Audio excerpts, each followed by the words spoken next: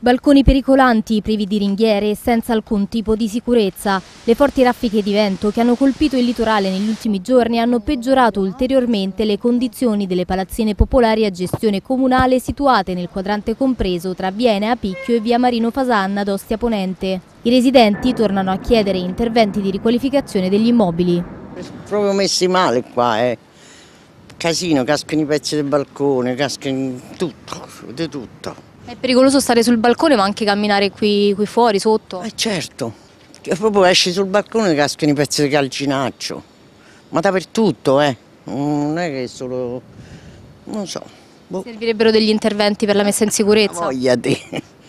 Ma qui da mo che dovevano fare questi lavori, solo che qua, eh, non so, tutto abbandonato. Certo, poi in queste giornate in cui c'è vento la paura aumenta. A voglia, io sul balcone mio marito lega con una corda paura che cascano i ringhiere. È molto pericoloso, però il comune non si interessa per niente de, di queste cose. Cioè eh, chiede soltanto l'affitto che con, puntualmente noi paghiamo, ma eh, i lavori sono quelli che sono. Lei sul suo balcone? Il mio balcone è come quello di tutti gli altri, eh, perché non, non fanno lavori di ristrutturazione e siamo così ecco, abbandonati da tutti, dallo Stato, dalle istituzioni. L'anno scorso, vede quel balcone lì, eh, se n'è caduto tutto, meno male che non c'era nessuno al piano terra, però d'altra parte non abbiamo dove andare e siamo costretti qui a, a rimanere.